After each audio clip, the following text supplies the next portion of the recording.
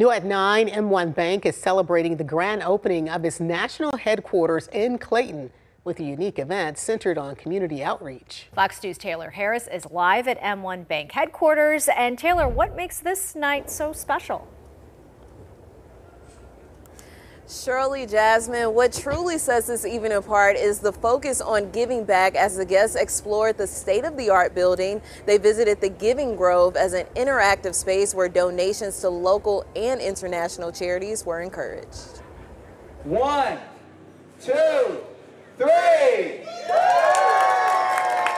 With a cut of the ribbon, guests were invited to explore the Giving Grove, an initiative where attendees pick donation leaves to support local charities that were honored. Organizations like the Jackie Joyner Kersee Foundation and the Dred Scott Heritage Foundation and five others are highlighted as recipients and given an opportunity to impact lives. Our new project is possibly getting a new building downtown, the old Jefferson Bank, if we can, for his new Dred Scott International Center. The bank's commitment to community doesn't stop there. The attached free event space for charitable organizations will serve as a hub for partnerships and community events. Here at 7 North Bemiston, we created a non for profit event space um, right here in the heart of Clayton that any charity can use free of cost.